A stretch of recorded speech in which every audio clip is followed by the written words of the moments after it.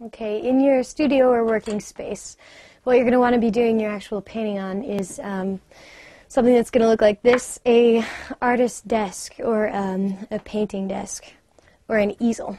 Now for the painting desk, the good thing about it is you have a slant, and that's what you need when you're painting. It makes things a lot easier and it and leaves less strain on yourself. Also try and like move your posture, sit up straight and um, you'll be saving your back in the long run. But so you want to have slanted surface, and depending on the how big your canvas is, you're going to want to turn it up, down, whatever it's going to be.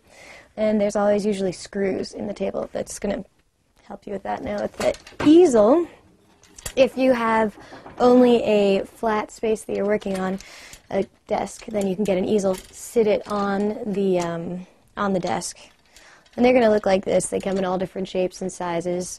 Um, smaller ones can be nice because then you can bring them outside more easily, and they have different um, things on the back that you can open it up, and you can put it the same back or forward depending on the size of your canvas.